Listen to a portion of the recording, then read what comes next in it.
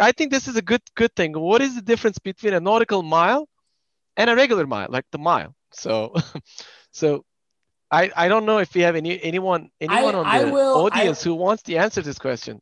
Okay, the thing is, My as, trivia question. as as someone who comes from the you know imperial measurement system, um, Right. um, I am um, also imperial measurement system. yeah. The Uh, thing but is, so but a mile is miles and the nautical miles actually not only used in in um, in the um, you know just just in one area it's also uh, used in in air and space also. Like so Mhm. it's not only for for just just for the sea Okay. basically. And it it's just like uh it just the the answer is also is also funny for this. Well there's also of course the um scientific answer for that but i don't want to get into that. I think this is like easily researched and found out. Maybe in, in school i don't know like um my kids don't actually have the same school level of education that we used to have. In schools we used to get you know learn about latitudes and longitudes parallels and meridians right? So this is like uh, degrees and, and minutes. So that's where it goes. Okay. But the the short answer for for this is earth is not flat because because because uh, circumference of the of the earth it's, it's round and it's divided into degrees. You actually cannot tell a location with just with just uh, or a distance or a speed with just uh with just like where it's at.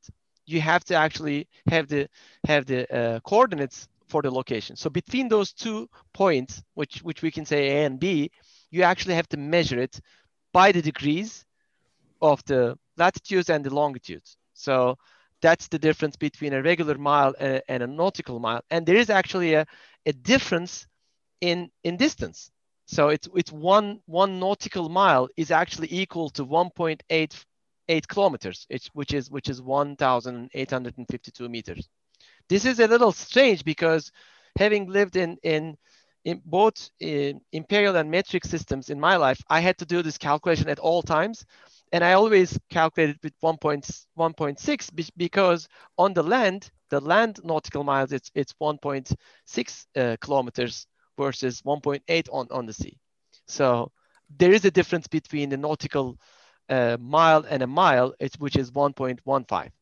So I think enough with this, but uh, it's I, I I think it's an interesting it's an interesting point. And then there's also a measurement of of speed, which is also different. Has a completely different story about the knots. And when we are at the sea sailing, we tell our, our speed not on miles, not on nautical miles, but but on knots, because there was a measurement system was was based off of a knot, basically a knot that was actually um, left behind the boat and uh, and uh, and actually uh, measured by by calculating the speed of the number of knots that you actually uh, pull together. So there's there's that story also. Anyway, uh, I hope you find this uh, entertaining information. Very much And, so. I uh, mean, Kubernetes, we're always talking about all these nautical things, whether it's about Helm or things like that. So it's Right. It's That's why that that Helm chart actually fits right in to the slide, and uh, I was like, okay, you know, this this is actually exactly what the the sailing um, uh, the Helm charts and the Kubernetes. Yes, that's about that.